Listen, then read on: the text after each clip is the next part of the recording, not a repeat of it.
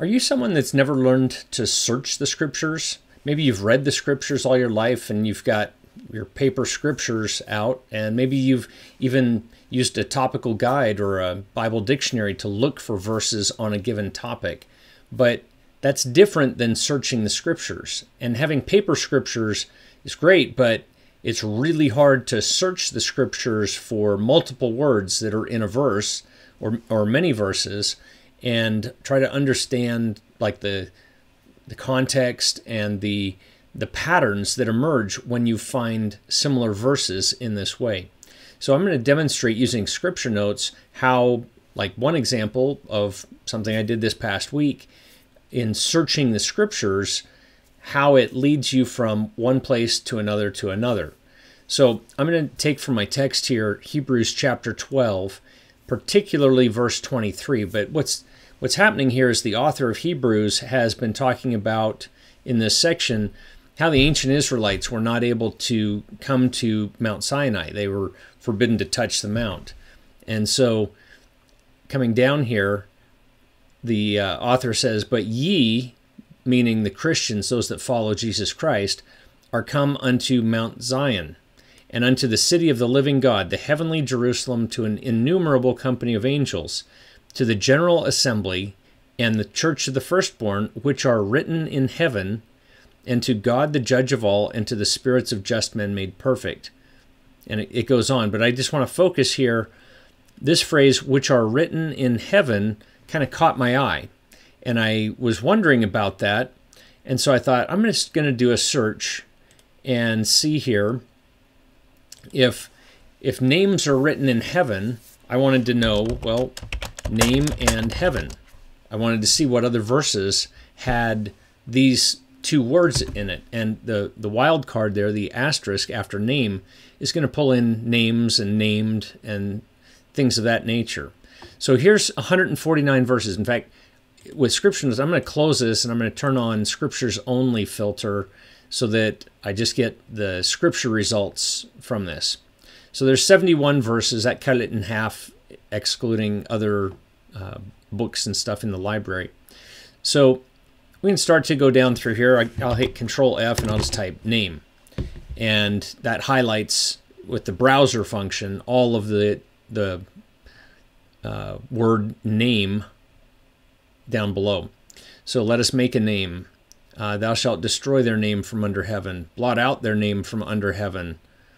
Uh, that's the Lord saying, talking to Moses. He's going to blot out the, the name of Israel because of their wickedness and backsliding and make Moses uh, a mightier nation.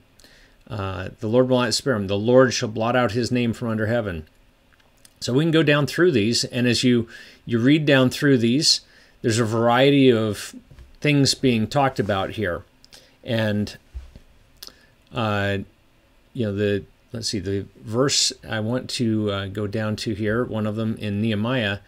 But if ye turn unto me and keep my commandments and do them, though there were of you cast out unto the uttermost part of the heaven, Yet will I gather them from thence, and will bring them unto the place that I have chosen to set my name there. Now, when I read this one, I was like, hmm, the uttermost part of the heaven. That's an interesting phrase. And so, just leaving everything where it is, I can pull up another search and just do a, a search for the word uttermost, which is what I did uh, last week as, as well. So, this comes up with a few verses you know, and I can change the, the search to uttermost and go down through these.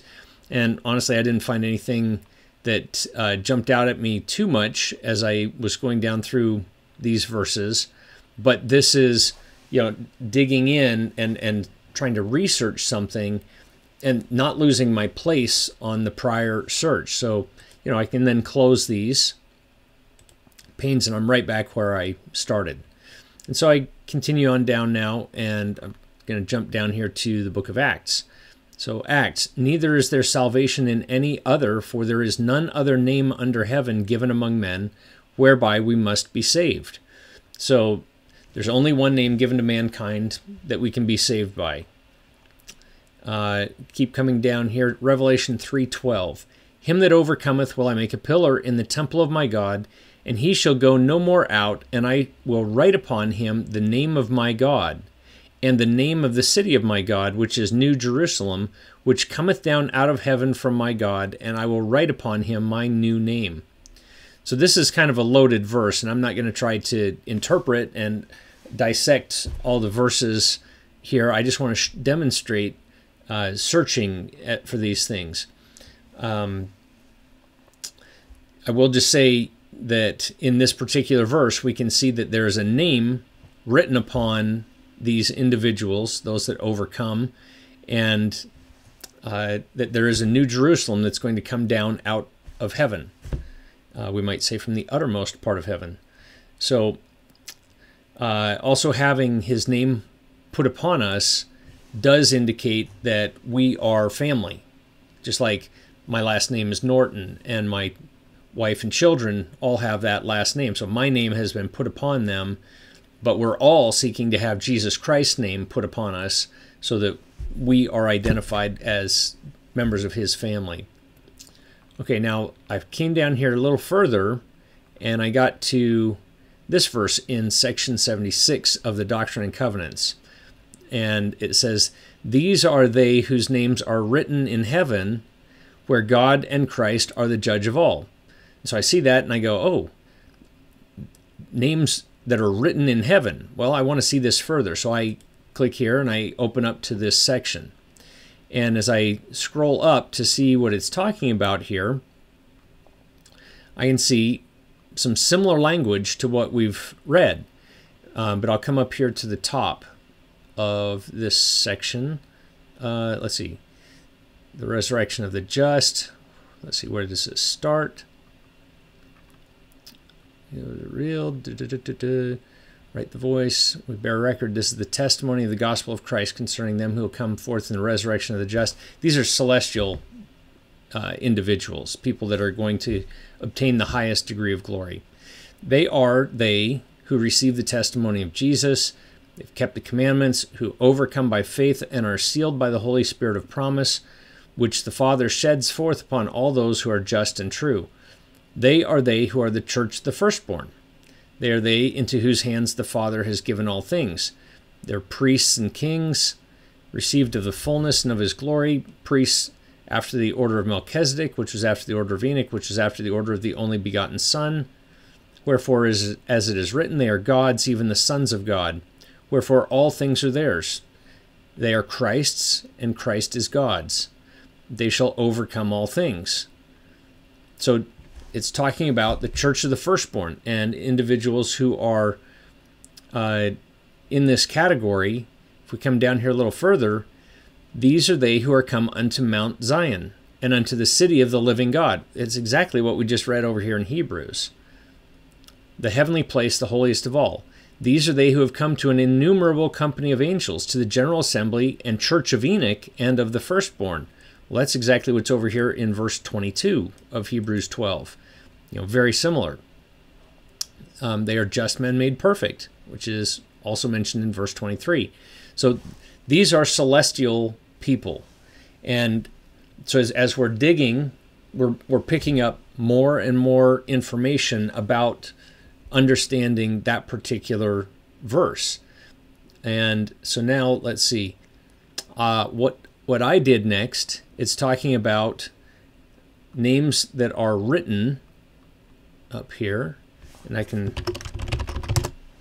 yeah, it is written that they are gods, even the sons of God. And I can't remember if there's another, yeah. These are they whose names are written in heaven. So if the names are written, I want to next do a search over here for name and written. And so I'll hit enter and it will refresh this pane.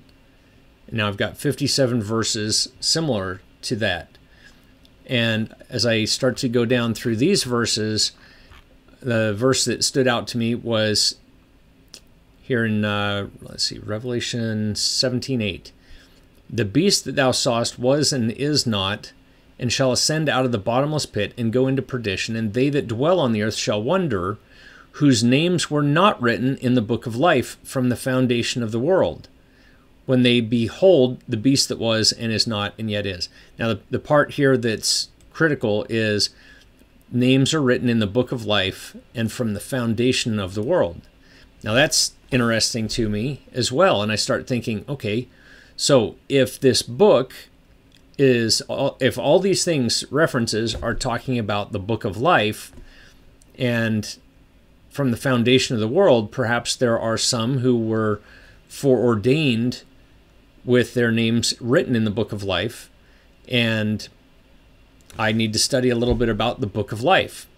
So then what I do is I open up the library and I go to the study helps and I'll select all here and I'll just type book of life. And that will start filtering all the results. And so now I've got these two entries here on the book of life. And I'll open both of them up and do something here to just demonstrate how I would study this. There's 14 results here in the Bible Dictionary. That's BD over here. And this is the topical guide entry, TG, which also references the Bible Dictionary, Book of Life. So we get a little bit of text in the Bible Dictionary and then a bunch of verses on both of these. It says it's spoken of in these verses, the Book of Life, and also in these places. In one sense, the book of life is the sum total of one's thoughts and actions, the record of his life. However, the scriptures indicate that a heavenly record is kept of the faithful, whose names are recorded, as well as an account of their righteous deeds. So, now if I wanted to study this, what I would do is I would create a collection note for both of these items. And once that collection note comes up, I will close both of these. And I, you can see I've checked the completed box here because I'm studying these. And so I close that one. And then I just call one of these Book of Life. And I'll save it to lock that in. and Close that. And then what I'm going to do is I'm going to come down here. I don't want two uh, different Book of Life collection notes. So I'm going to take this bulk move button and, and click it, which activates these checkboxes. And I could individually select verses that I want to move over, or I can select all of them like this.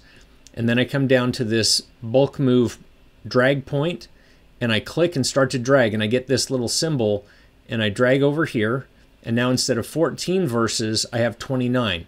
So you can see from 24 and 17 I've got 29 unique verses. There were just five extra as I merged uh, those together. So I can close this pane and now I can study this topic on the book of life and go down through all these verses, make notes here in the master note area, and I can even expand this pane and make comments just on the verses themselves. You could do that on any of these panes as you're studying the scriptures. You can always expand that, see your verse notes. But this is super handy to have a master note now on the topic that will be tied to all of these verses. And so I've got a uh, Book of Life entry here. That's why there's two of them because I just created another, which I'll delete. But that's how you use scripture notes to search deeper into a topic. You you start with a certain point and then you just start to notice what's in each of your searches. And what does that search lead me to? Well, it leads me to this. It leads me to this. And you just go from point A to B to C until you're satisfied with that and then you can close these panes, and jump right back to where you started. So it's a great way to stud- study and search the scriptures and be able to have a powerful tool that lets you do these boolean searches. If you if you're not familiar with how to do it, it's easy to start off. You can start off with single words, which is how most uh, text search engines function, and then you can learn how to do Boolean searches if you click that search help button right at the top of the pane here, search help.